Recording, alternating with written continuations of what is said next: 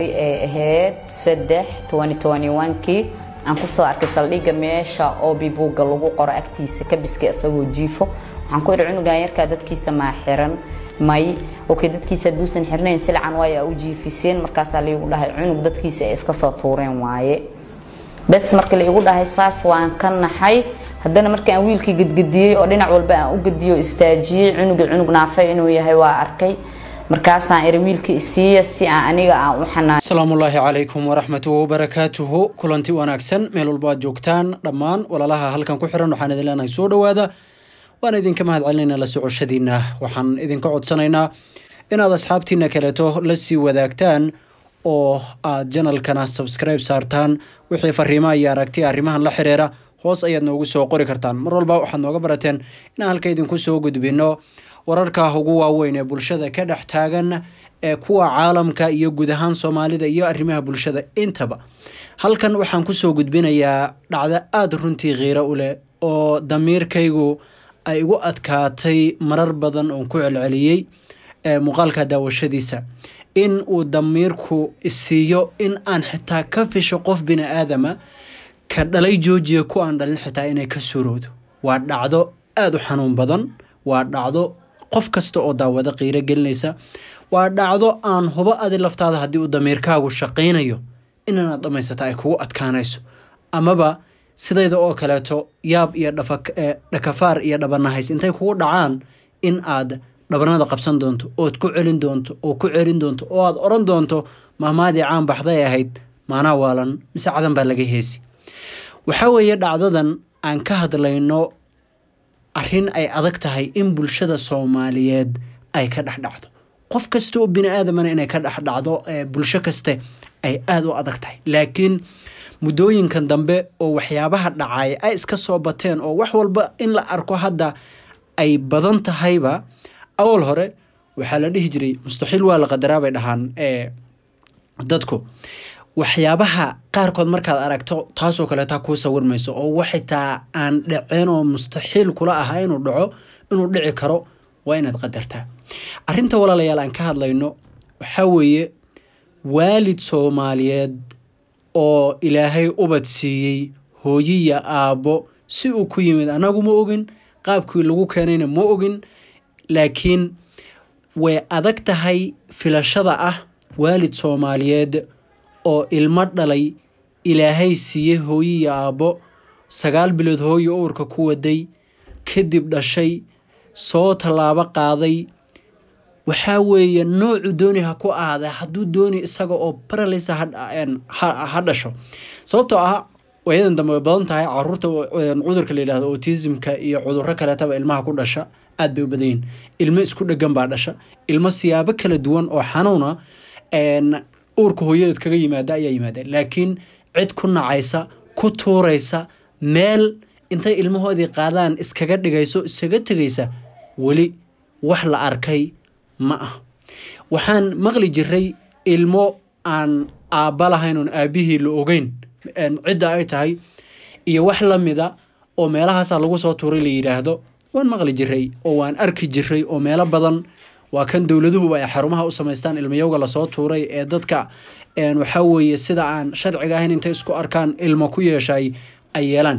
Laakiin ilmahani sida ay naloo sheegayo way ka bedelan tahay arrintiisu sidaas. Iyada qisadan walaalayaal aan idiin soo wadno waxaa weeye wiil yar oo lagu magacaabo maxamed amiin oo ah magaca hadda aan ugu yeerayno ama maxamed amiinku hooyada soomaaliyeed ee hadda haysa walaasheen allaha barakeeye magacay u baxsatay ee aan ahayn magaciisii rasmiga. Ah maxamed amiin waa wiil yar oo yar oo qaba xanuuno kala duwan. Uu ugu horeeyo xanuunka la yidhaahdo autismka sida ka muuqata oo aan socodkiisu inuu socdo adag tahay. Gacmihiisu ayna toos ahayn oo waxaa weye una wax walba ku qabsan karin lugihiisana una ku socon karin inkasta oo hadda uu meelaha qaarkood oo kaleeto uu yara istaagay.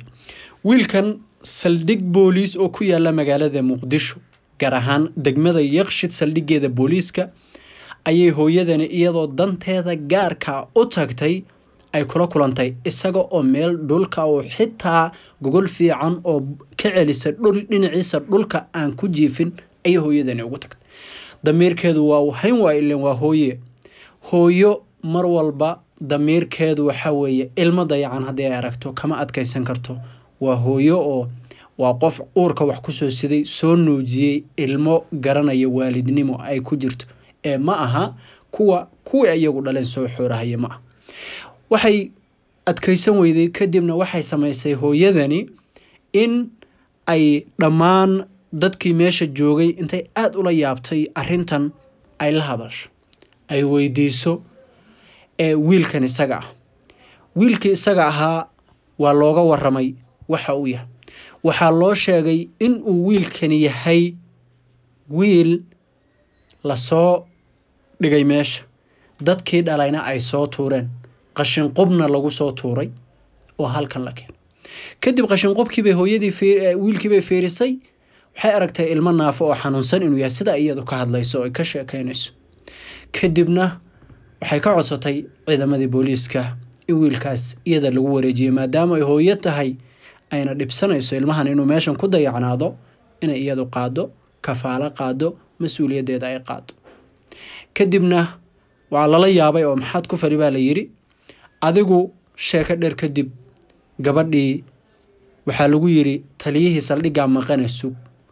Maalintii saddex labaatankii janawari labada kun kow iyo labaatan bay ahayd way ka tagtay afar iyo labaatankii bay u soo noqotay.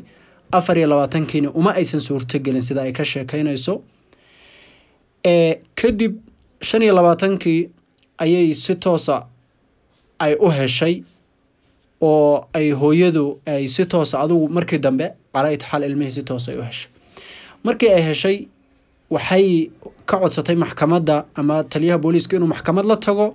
Si sharciga ilmahan ay ku haysato si uuna dhowaan wax uga imanin ayna lagu wareejiyo iyadoo ay mas'uul ka noqoto. Arrintii iyada ahayd waxaa la yidhi wuu diiday taliyihii booliiska wuxuuna ku yidhi maxaa dhibahoo ku jira? Haddaad adigu qaadatay waxaa tiri ilmahan wuu dhiman karaa dhowaan wax ka iman karaa cilad baa iman karta wax walbaa iman kara hadduu dhinto gurigaaga dabadiisa ma iskaga aasid buu yidhi bal dameer xumada hooyo inayna wax lala sima jirin.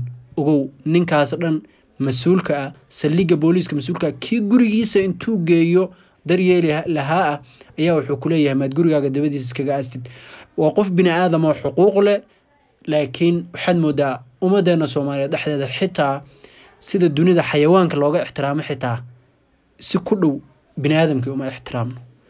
Ilmaha yar ee xanuunsanaya oo loo baahnaa inay wax walba u qabtaan ayuu haddana sidaasi ula hadlay. Adu markii dambe hooyadii way ku qasabtay wayna dhacda arrintii iyadahayd maxkamad baana loo geeyey ilmihiina sidaasaa lagu wareejiyey way korisay way haysaa isbitaallo badan bay geysay ummadda soomaaliyeed ayay ka codsanaysaa in cid kasta oo waalidkii garanaysa ay la soo xiriirto oo ay ilmahaas isagaa sidii waalidkii loogu heli lahaa ay ku tala gasho. Haddii waalidkii la waayo waxay sheegtay inay haynayso waxay sheegtay inay soo dhoweynayso cid kasta oo isku dayayso in ay wax ku tarto ilmaha yarka ee maxamed amiin wiilkaa yarka. Ah qof kasta oo soomaaliyeed oo damiir leh sheekadaas haddii uu arko waxaad ka daawan kartaa walaalkeen zakariya timacadde ayaad ka soo daawan kartaa facebookiisa ay ku jirtaa sheekadu iyadoo muuqaal ah oo walaalkeen uu si gooni ah ee arrintaasi ugaga hadlayo. Marka waxyaabahaasi waxay ku tusinaysaa walaalayaal damiir xumada bulshadeena iyo isbeddelka inagu dhacay. Hooyadaasi toddobaad kasta hadda saldhig booliis bay ilmihii geysaa waraaqa loo soo buuxiyaa la soo shaambadeeyaa tiimbara loogu soo dhuftaa kadibna gurigeeda ku soo celisaa waxay dad ka codsanaysaa in waalidkii lala raadiyo oo d n a iyo maxkamad ay ku wareejin doonto ilmahaas. Haddii lacalla ay dhacdo cid sheeganaysa. In la arko waxaa kaleeto oo ay hooyadani inoo sheegaysaa in ay cid kasta oo caawinaysa oo caawimaad la garab istaagaysa wiilkan isaga ah inay iyadana diyaar u tahay caanihiisa bambaaskiisa kaadi iyo wixii ma ceshan kara waa nin xanuunsan bambaas buu isticmaalaa. Iyo caruurteeda oo kaleeto ayay kala mid dhigatay sida sawiradan idinka muuqdana waa ay dhaqaalaysay wayna korisay markii hore iyo markana wax isu dhow iyo wax isku mida midna ma ah.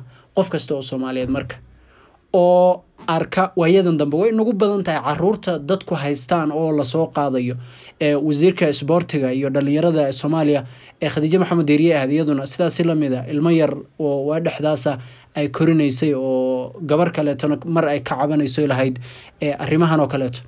Ilmaha marka walaalayaal meelaha la soo dhigayo way nagu bateen. Qofku haddii uu ilmahan markii horeeta si kheyru sharci uu ku dhalay yuuna dembi labaad kasbanina ilmahan ilaahay baa siiye ha korsado ha haysto.